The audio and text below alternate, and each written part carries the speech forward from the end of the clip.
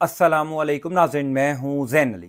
नाजिक में तेईस सितंबर है और दिन है पीर का। देखिए, ये बात तो सौ फ़ीसद तय है कि इस वक्त सुप्रीम कोर्ट ऑफ़ पाकिस्तान में सब कुछ अच्छा नहीं है। जिस तरह चीफ जस्टिस काजी फायज ईसा ने आईनी तरमीम के ज़रिए अदलिया पर हमले के लिए सहूलतकारी की, फिर एक मुतनाज़ा ऑर्डिनेंस के ज़रिए सुप्रीम कोर्ट ऑफ़ पाकिस्तान के सीनियर मोस्ट जज को प्रैक्टिस एंड प्रोसीजर कमेटी से निकाला तो सुप्रीम कोर्ट ऑफ़ पाकिस्तान के जजेस का रद्द भी आना था। Supreme Court of Pakistan Pakistan के आइंदा आने वाले chief justice justice Mansoor Ali Shah का रद्दमल भी आना था। आज वो रद्दमल आ गया है। जस्टिस मंसूर अली शाह ने वो आईनी तरमीम जिसके ज़रिए अदलिया को कंट्रोल करने का प्लान बनाया गया था, जिसके ज़रिए अदलिया पर हमले के लिए काजी साहब ने सहूलतकारी की थी। आज जस्टिस मंसूर अली शाह ने उस आईनी तरमीम को उड़ाकर रख दिया है। सुप्रीम कोर्ट ऑफ़ पाकिस्तान के एक इंतहाई अहम तरीन इजलास में दो जजेस ने बहुत बड़ा धमाका धमाका कर दिया है। पाकिस्तान बार काउंसिल की वो दरखास्त जो सुप्रीम कोर्ट ऑफ़ पाकिस्तान में पिछले हफ़्ते जमा करवाई गई थी, जो गेम चेंजर दरखास्त साबित हुई है। इस दरखास्त के ऊपर भी बड़ी इंपॉर्टेंट डेवलपमेंट हुई है तफसीलात से मैं आपको आगाह कर देता हूँ। दूसरी इंपॉर्टेंट खबर पाकिस्तान तहरीक इंसाफ के हवाले से है। पिछले चंद घंटों के अंदर पाकिस्तान तहरीक इंसाफ ने एक बहुत बड़ा सरप्राइज़, एक बहुत बड़ा ऐलान कर दिया है। इस ऐलान के बाद शहर इकतदार में दौड़ें लग चुकी हैं। इस खबर की मुकम्मल तफसीलात भी मैं आपको आगे चलकर बता देता हूँ, लेकिन सबसे पहले आईनी तरमीम के हवाले से जस्टिस मंसूर शाह का पहला तबाकुन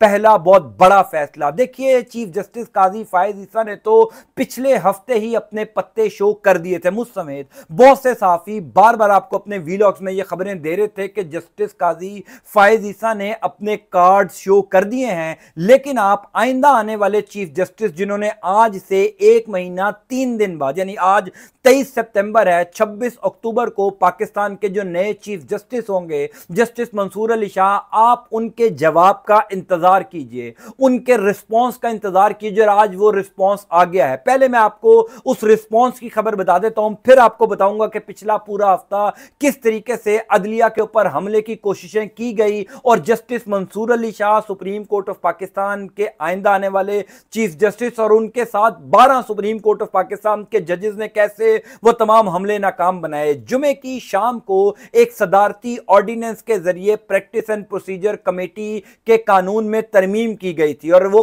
कानून में तरमीम सिर्फ़ इस वजह से की गई थी क्योंकि जनाब काजी फायज ईसा कुछ दरखास्तें अपनी मर्ज़ी की फौरी तौर पर समात के लिए मुकर करवाना चाहते हैं और उसमें अपनी मर्ज़ी का बेंच बनवाना चाहते हैं। क्योंकि जस्टिस मुनीब अख्तर साहब प्रैक्टिस एंड प्रोसीजर कमेटी का हिस्सा थे, जस्टिस मंसूर अली शाह इस कमेटी का हिस्सा थे तो पिछले कई इजलासों में काजी साहब को शिकस्त हो रही थी। अब तीन चार बड़ी इंपॉर्टेंट दरखास्तें हैं जिनको काजी साहब ने हर सूरत में फौरी तौर पर समात के लिए मुकर करवाना था, उसके लिए प्रैक्टिस एंड प्रोसीजर कमेटी में तब्दीली ज़रूरी थी। जुमे वाले दिन यह ऑर्डिनेंस मंजूर हुआ और उसके फ़ौरन बाद, यानी चंद घंटों बाद ही सुप्रीम कोर्ट ऑफ़ पाकिस्तान से एक नोटिफिकेशन आया कि मुनीब अख्तर साहब को प्रैक्टिस एंड प्रोसीजर कमेटी से निकाल दिया गया है जस्टिस अमीनुद्दीन खान को शामिल कर लिया गया है। जुमे वाले दिन ही इस प्रैक्टिस एंड प्रोसीजर कमेटी का इजलास भी इंटरेस्टिंगली बुलाया गया था, लेकिन जस्टिस मंसूर अली शाह की अदम दस्तियाबी की वजह से यह इजलास नहीं हो सका था। जस्टिस मंसूर अली शाह ने इनकार कर दिया था। वो क्यों इनकार किया था? मैं आपको आगे चलकर बताता हूँ। ये भी बड़ी इंपॉर्टेंट स्टोरी है। जब ये notification Supreme Court of Pakistan की तरफ़ से आया तो उसके फौरी बाद सुप्रीम कोर्ट ऑफ़ पाकिस्तान के तेरह जजेस का एक गैर मामूली इजलास हुआ। उस इजलास की सदारत जस्टिस मंसूर अली शाह ने की। हमारे तमाम तर जो साफी दोस्त अदालतों को कवर करते हैं। उन्होंने भी इन खबरों की उस टाइम तस्दीक की थी। कुछ हमारे जो क्रेडिबल सोर्सेज हैं, उन्होंने भी तस्दीक की थी कि बिल बिल्कुल सुप्रीम कोर्ट ऑफ़ पाकिस्तान में एक गैर मामूली इजलास हो रहा है। जस्टिस मंसूर अली शाह उसकी सदारत कर रहे हैं। सुप्रीम कोर्ट ऑफ़ पाकिस्तान के दीगर बारह जजेस भी मौजूद हैं। इंटरेस्टिंगली काजी साहब और काजी साहब का जो अकलीती ग्रुप है, यानी सुप्रीम कोर्ट ऑफ़ पाकिस्तान के जो तीन चार जजेस हैं, जो काजी साहब के नक्शे कदम पर चलते हैं, उनको इस इजलास में मदू नहीं किया गया था। अब चूँकि दो दिन गुजर चुके हैं, जुमे की शाम को यह इजलास हुआ था, हफ़्ता और इतवार आज पीर का दिन है, पहला अदालती दिन है, अदालती कार्रवाई कार्रवाई का पहला दिन है तो आज ये खबर सामने आ गई है कि उस इंतहाई अहम तरीन इजलास में क्या फैसला हुआ? सुप्रीम कोर्ट ऑफ़ पाकिस्तान के वो कौन से दो जजेस थे जिन्होंने जस्टिस मंसूर अली शाह को यह मशवरा दिया कि आईनी तरमीम को भी उड़ा दिया जाए और इस सदारती ऑर्डिनेंस को भी उड़ा दिया जाए? और दिलचस्प बात यह है कि जस्टिस मंसूर अली शाह ने काजी साहब को एक और बदतरीन शिकस्त दे दी। देखिए, काजी साहब के हाथ में यही था ना कि अदलिया पर हमले के लिए सहूलतकारी कर दें, ऐसा ऑर्डिनेंस ले आए, जिसके ज़रिए प्रैक्टिस एंड प्रोसीजर कमेटी में वो अपनी मर्ज़ी का जज ले आए। यानी जो कुछ काजी कर सकते थे, उन्होंने कर दिया, लेकिन असल इख्तियार असल पावर तो इस टाइम जस्टिस मंसूर अली शाह साहब के पास है, क्योंकि सुप्रीम कोर्ट ऑफ़ पाकिस्तान के तेरह जजेस यानी सत्रह टोटल जजेस हैं।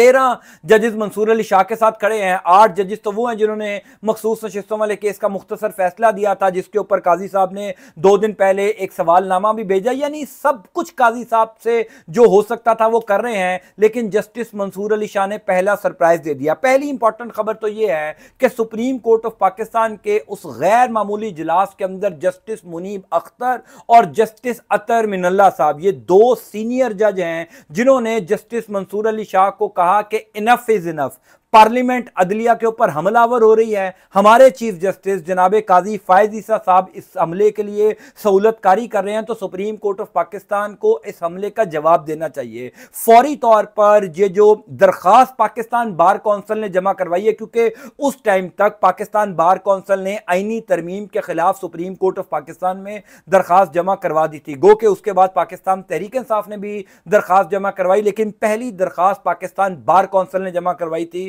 उनके जो सबक सदूर हैं, आबिद जुबैरी साहब, शफकत चौहान साहब, इन तमाम लोगों ने यह दरख्वास्त जमा कराई थी। इस दरख्वास्त को टेकअप किया जाए और फौरी तौर पर आईनी तरमीम के परखच्चे उड़ा दिए जाए। आईनी तरमीम को तो कलदम करार दिया जाए और पार्लियामेंट को जवाब दिया जाए कि सुप्रीम कोर्ट ऑफ़ पाकिस्तान के जजेस कोई गूँगे, बहरे जजेस नहीं हैं। अगर आप अदलिया पर हमला करेंगे तो अदलिया भरपूर जवाब देगी। तो आज चूँकि प्रैक्टिस एंड प्रोसीजर कमेटी का इजलास भी होना है यह इजलास वैसे तो जुमेरात वाले दिन होना था, लेकिन तब तक सदारती सदारती ऑर्डिनेंस नहीं आया था। जुमे वाले दिन सदारती ऑर्डिनेंस आया, उसके बाद मंसूर अली शाह साहब ने ज़बरदस्त तरीके से जो है, इस इजलास में शिरकत को अवॉइड किया। आज इस कमेटी का इजलास होने जा रहा है और एन मुमकिन है कि आईनी तरमीम के मामले के ऊपर बहुत गर्मा गर्मी हो, क्योंकि मंसूर अली शाह हर सूरत में पाकिस्तान बार कौंसिल की दरखास्त को टेकअप करवाएँगे और सुप्रीम कोर्ट ऑफ़ पाकिस्तान इस आईनी तरमीम को उड़ाकर रख देगी। कोई ये ना समझे कि इस टाइम जस्टिस मंसूर अली शाह कमज़ोर जज है। कोई कोई ये ना समझे कि काजी फाइज ईसा ने आईनी तरमीम के लिए अदलिया पर हमला करवाया, नया सदारती ऑर्डिनेंस ले आए तो उससे जो है वो काजी साहब कोई मज़बूत हो गए हैं। काजी साहब अकलीत के अंदर हैं।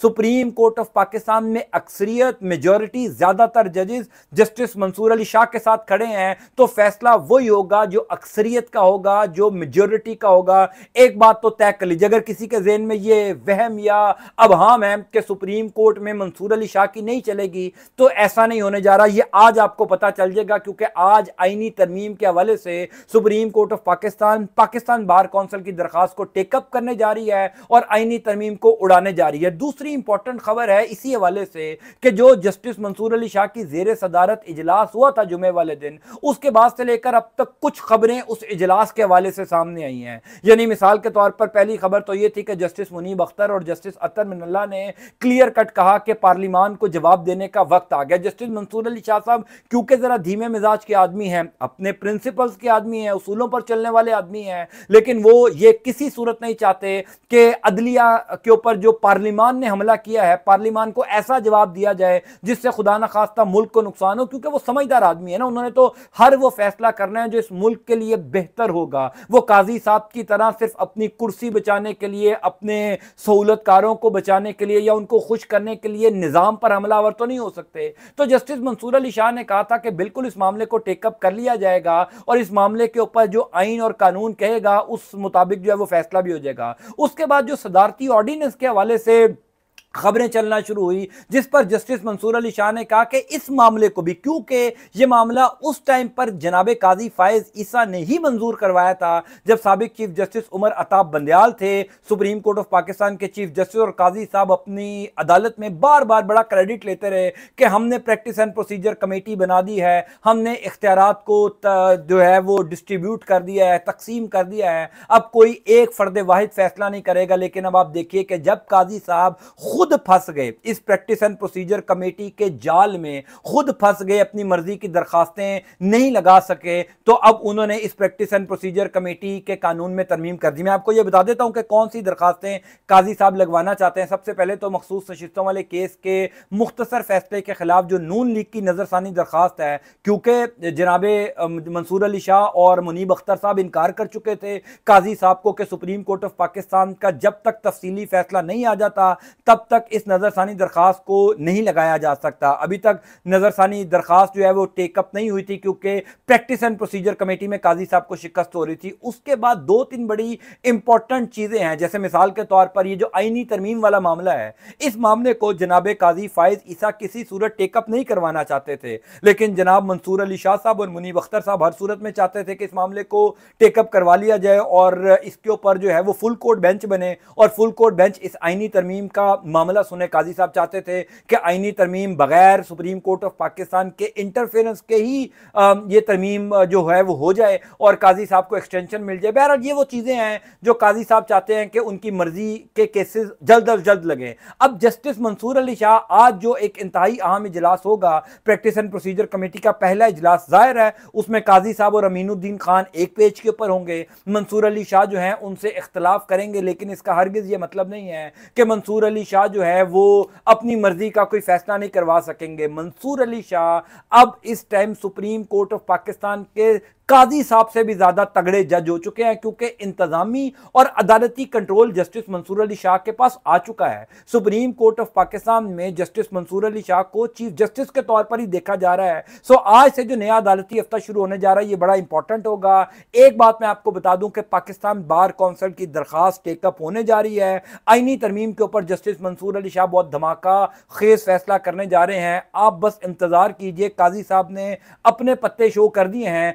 मंसूर अली शाह की शॉर्ट्स का वेट कीजिए। दूसरी इंपॉर्टेंट खबर, पाकिस्तान तहरीक इंसाफ के हवाले से। देखिए, तीन दिन पहले पाकिस्तान तहरीक इंसाफ ने जो लाहौर में एक कामयाब जलसा किया। मैं कामयाब इसलिए कह रहा हूँ क्योंकि जितनी रुकावटें पंजाब हुकूमत इस जलसे को नाकाम बनाने के लिए कर सकती थी, तमाम तरह हरबे इस्तेमाल किए गए, कंटेनर लगाए गए, कारकुनान को रोका गया, अली अमीन गंडापुर के काफिले को रोका गया, उसके बावजूद लाखों की तादाद में, लाखों की तादाद में लोगों ने इस जलसे में शिरकत की और एक बहुत बड़ा मैसिव जलसा था। अब ख्याल ये किया जा रहा था कि शायद पाकिस्तान तहरीक इंसाफ इसके बाद कोई जलसा अनाउंस नहीं करेगी, क्योंकि इमरान खान अपनी क्यादत को, जो भी बची कुची बार क्यादत है, उसको ये कह चुके हैं कि हर सूरत में अब ये रुकनी नहीं चाहिए। हर सूरत में जलसे शुरू होने चाहिए। पंजाब में हो, खैबर पख्तूनख्वा में हो, हर जगह पर पाकिस्तान तहरीक इंसाफ जलसे करे और इंटरेस्टिंगली पाकिस्तान तहरीक इंसाफ ने लाहौर जलसे के सिर्फ़ दो दिन बाद पंजाब में ही दूसरे जलसे का ऐलान कर दिया है। कल रात को वज़ीर अला खैबर पख्तूनख्वा अली अमीन गंडापुर ने एक वीडियो पैगाम जारी किया, जिस पैगाम के अंदर यह कहा गया कि अगला जलसा मियाँ वाली में होगा। इमरान खान के होम ग्राउंड में, इमरान खान के होम क्राउड के सामने अब जलसा करने पाकिस्तान तहरीक इंसाफ जारी है। एक चीज़ तो क्लियर हो गई है कि जो शकूक शुबात जन्म ले रहे थे अली अमीन गंडापुर के ऊपर या पाकिस्तान तहरीक इंसाफ की इस टाइम जो क्यादत बाहर मौजूद है, अब वो तमाम तर शकूक शुबात खत्म हो जाने चाहिए। वो तमाम तर अब हम ख़त्म हो जाना चाहिए कि पाकिस्तान तहरीक इंसाफ की क्यादत शायद कोई कॉम्प्रोमाइज़ है। तहरीक इंसाफ तीसरा बड़ा जलसा करने जा रही है और एक चीज़ क्लियर हो गई है कि अब ये तहरीक बनती जा रही है। अब मोमेंटम पाकिस्तान तहरीक इंसाफ पकड़ती जा रही है। बेशक एक तरफ़ रियासत रियासती इदारे, हुकूमत हुकूमती इदारे, इन जलसों को रोकने की कोशिश कर रहे हैं, लेकिन वो जलसे रुक नहीं रहे। पाकिस्तान तहरीक इंसाफ जो इन जलसों से गेन करना चाहती है, जो हासिल करना चाहती है, पाकिस्तान तहरीक इंसाफ वो हासिल कर रही है। पाकिस्तान तहरीक इंसाफ जो मोमेंटम बनाना चाहती है, वो मोमेंटम पाकिस्तान तहरीक इंसाफ के हक में बनता जा रहा है। बहरहाल, ये दोनों बड़ी इंपॉर्टेंट खबरें थी। आज से अदालती हफ़्ता बड़ा इंपॉर्टेंट होगा। प्रैक्टिस एंड प्रोसीजर कमेटी का इजलास होगा। फिर सबसे इंपॉर्टेंट आईनी तरमीम और वो सदारती मुतना मुतनाज़ ऑर्डिनेंस जिसके ज़रिए जस्टिस मुनीम अख्तर को प्रैक्टिस एंड प्रोसीजर कमेटी से निकाला गया, उस हवाले से भी बड़ा फैसला मुतव है। तो मैं इन शाला आपको अपडेट करता जाऊँगा। अल्लाह आपका, आपके अहल खाना का हमी नासिर मुझे अपनी दुआ में ज़रूर याद रखेगा अंटिल नेक्स्ट टाइम अला हाफ़